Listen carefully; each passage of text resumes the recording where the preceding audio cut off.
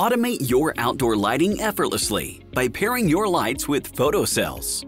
Also called light sensors or photocontrols, photocells automatically turn your lights on at sunset and off at sunrise with no programming required. Here is a quick guide covering everything you need to know about photocells. Types of photocells. There are four main types of photocells that can be added to fixtures. Locking type photocells are designed to withstand vibrations and help prevent disconnects due to impacts.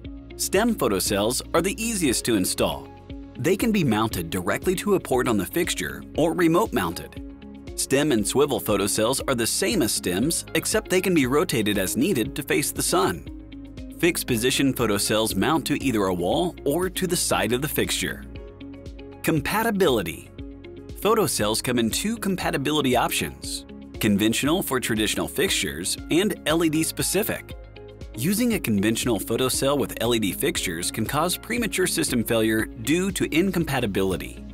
Voltage While fixtures can operate on a wide range of voltages, many photocells do not.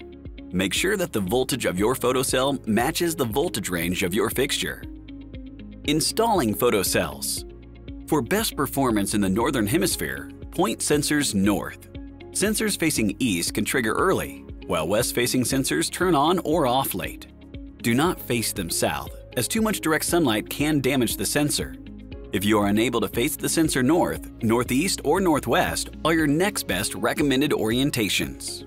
Ready to find the right photo photocells for your outdoor applications?